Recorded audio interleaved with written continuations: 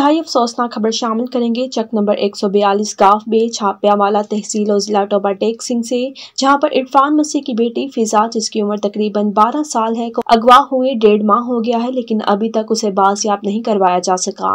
तफसीत के मुताबिक बच्ची के वालिद इरफान मसीह ने थाना रजाना जिला टोबा टेक सिंह में अपनी दरख्वास्त में कहा है की खुशी मोहम्मद, आदिल वल्द, खुशी मोहम्मद, सोनिया बीबी, साजिदा बीबी, साबिर वल्द, खुशी मोहम्मद और सजाद वल्द, खुशी मोहम्मद ने उनतीस मई को तकरीबन तीन बजे दोपहर में अपने काम पर था और मेरी बीमार बीवी और बेटी फिजा घर में अकेले थी। कि हमारे हमसाए ने बताया कि एक कार जिसका रंग सफ़ेद था लेकर आए और सोनिया बीबी और साजिदा बीबी मेरे घर के अंदर दाखिल हो गए जबकि आदिल मसल्ला पिस्टल मेरी बेटी फिजा, जो नाबालिग है, को ज़बरदस्ती अगवा करके कार में लेकर फरार हो गया और जाते हुए मेरे घर के तलाई जेवरात भी ले गए, जिसके गवाह इमरान मसीह, वकास मसीह हैं, जिन्होंने बताया कि तुम्हारी बेटी को अगवा करके ले गए हैं। और जब मैंने अगवाकारों से पूछा तो उन्होंने कहा कि लड़की रात तक घर वापस आ जाएगी, लेकिन अब वो मेरी बेटी देने से इनकारी है गुजश्ता रोज इरफान मसीह ने बाबा इंतज़ार गिल को बताया कि डेढ़ माह से हमारी बेटी को अगवा किया हुआ है। अब ना हमारी बेटी को वापस कर रहे हैं और ना ही कोई कागजात देते हैं